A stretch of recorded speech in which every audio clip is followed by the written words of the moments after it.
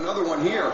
An ill-advised throw by Jay Cutler. Again, Brent Grimes is playing very, very aggressive now. He might have gotten there a little bit early, but that is such a huge play for Thomas DeCoud to make. You're keeping points off the board.